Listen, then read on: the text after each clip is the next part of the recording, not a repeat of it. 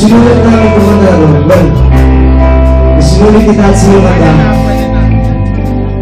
hindi talaga siya tungkol dito sa maririnig nyo, pero binali namin na gusto namin sumulat ng kanta tungkol sa mga taong nandyan sa paligid namin. Kayo, pinapaligiran mo kami kaya nyo kami gulpihin. So, this song is for you.